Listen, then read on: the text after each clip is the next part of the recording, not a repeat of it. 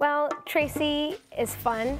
Um, she's very smart, very ambitious, and I would say she could be a little defiant at times with her parents because as the movie, as the sitcom goes on, we can see her um, keeping a little se some secrets from her parents and that being revealed.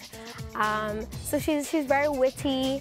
Um, she she loves adventure.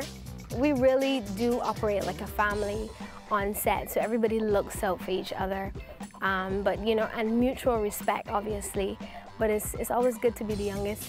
you can get away with a lot.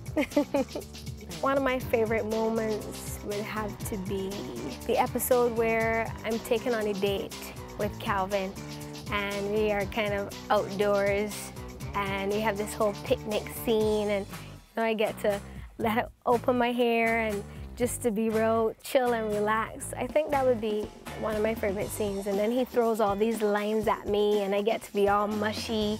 There's a main course. Your favorite. Chicken Wellingtons. Yep. and a rose for my rose. Calvin.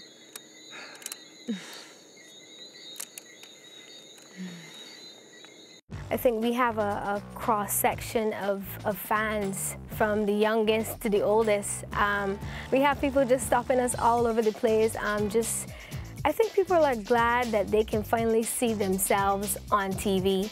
There's a local product, something that they can enjoy. Um, and I think they're proud to, to just see that is, is doing well and, and is something that they can relate to.